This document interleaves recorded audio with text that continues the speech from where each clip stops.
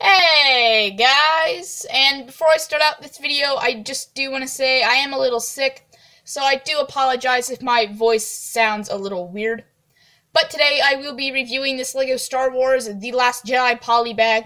This is Kylo Ren's shuttle. It is set number 30380. Comes with 33 pieces and is recommended for ages 6 12. And this is actually the second um, mini Kylo Ren's command shuttle that LEGO has made.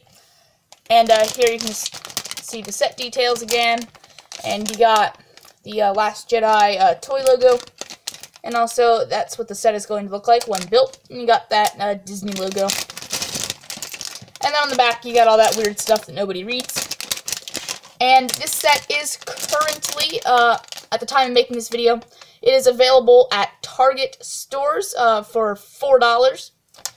And I'm going to go ahead and get this thing cut open and move me out of the way. So I will be doing a uh, speed build of this thing, but first I guess I have to get it open, so let's go ahead and do that. Cut right here. Hopefully I cut the up. Okay, stuff's already spilling out. Let's move that. See what we got in here. Okay, so that's that. Poly bag is now empty. And looks like we got some uh, black and gray in here.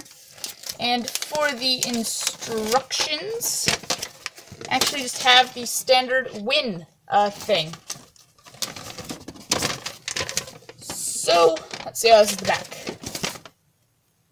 So the logo is horizontal. Sorry, I bumped the camera there. So the logo is horizontal, but the instructions are vertical. So just sort through the pieces a little bit here. Anything interesting?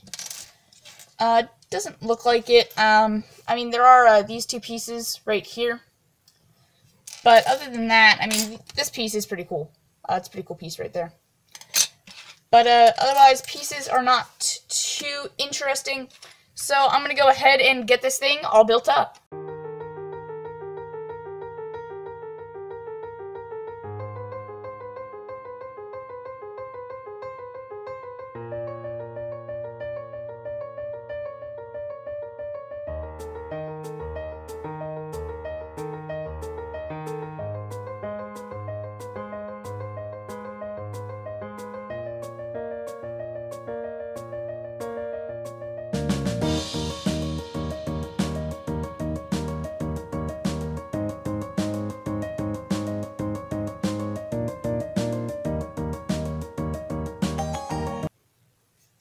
Guys, here is the completed command shuttle.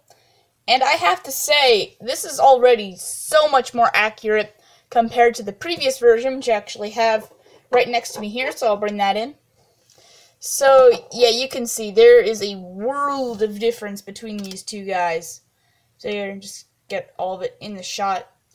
And then, like, um, you can see here, these wings can go out like a plane. I mean, that's that's not exactly accurate, but so you can go out in its flying mode. That and the landing gear are a little weird, but this one can't do that. So they've definitely improved uh, with the newer model. And you can see like the whole um, like cockpit area and fuselage and all that it's a lot smaller. And I do like the way that they did the landing gear. I think that's a pretty cool uh, technique. And I also like how they use like the little like uh, handlebar thingies uh, as uh, guns. And uh, like I pointed out, you can have it go all the way down like this. So, and if you hold it this way, you know, you can get a pretty cool looking thing out of that. But then it still folds up in its landing position. And you can see the wings are pretty much just two pieces, uh, which is kind of ridiculous.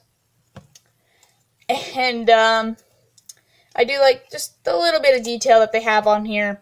And I also really like the use of these uh, slope pieces right here. I think they just add a nice bit of detail. Not really sure what this is supposed to represent, um, but it's there. And, um, yes, so it's kind of funny, because this is actually the most accurate Kylo Ren's command shuttle. Sorry, I keep bumping the camera today.